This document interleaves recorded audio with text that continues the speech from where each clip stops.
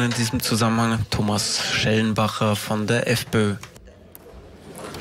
Danke, Frau Präsident, sehr geehrter Herr Bundesminister, sehr geehrte Kolleginnen und Kollegen, geschätzte Damen und Herren vor den Bildschirmen und auf der Galerie.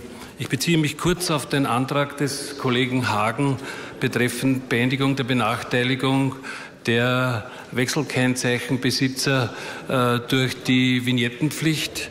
Äh, ich hoffe, mein lieber Kollege, du bist mir nicht böse. Wir werden diesen Antrag ablehnen.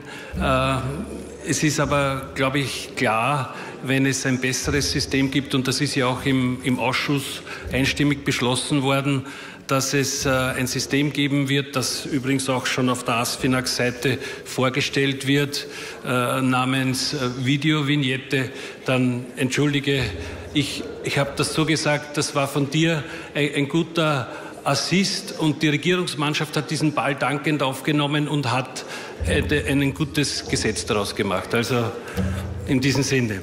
Aber zu diesen äh, Videovignette. Die Videovignette äh, hat den Vorteil, dass sie parallel zu, dem, zu der Klebevignette äh, Verwendung findet.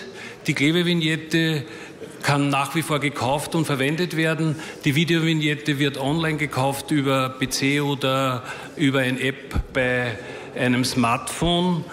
Die Bezahlung erfolgt mittels Kreditkarte oder kann einfach durch Sofortüberweisung äh, in Auftrag gegeben werden. Die Videovignette hat auch den Vorteil, dass die Wechselkennzeichenbesitzer, die Probefahrtkennzeichenbesitzer äh, sozusagen ihre Nachteile verlieren dadurch, dass eben der, das Kennzeichen detektiert wird und nicht das Fahrzeug.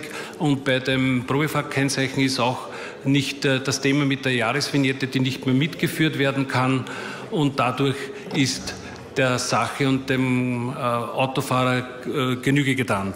Ein wesentlicher Vorteil ist auch die Echtzeitdatenerfassung. Äh, es ist schon in Probe auf der A4 äh, Knoten äh, Prater Richtung äh, Flughafen. Diese Echtzeitdatenerfassung äh, beschert einen die Möglichkeit sozusagen unter Berücksichtigung des tatsächlichen Verkehrs die Ankunftszeit am Flughafen ähm, angezeigt zu bekommen an einer Wechseltextanzeige. weiters beherrscht sie kooperative Systeme. Es können Computer der Polizeiexekutive Kennzeichen kooperierenden anzeigen und sozusagen feststellen, wo ein gestohlenes Fahrzeug oder ein gestohlenes Kennzeichen sich befindet. Und alles im Allen bin ich davon überzeugt, dass wenn die Teststellung so weitergeht, äh, auch der Termin 2018 halten kann. Und ich hoffe, dass das auch so funktioniert. Glück auf!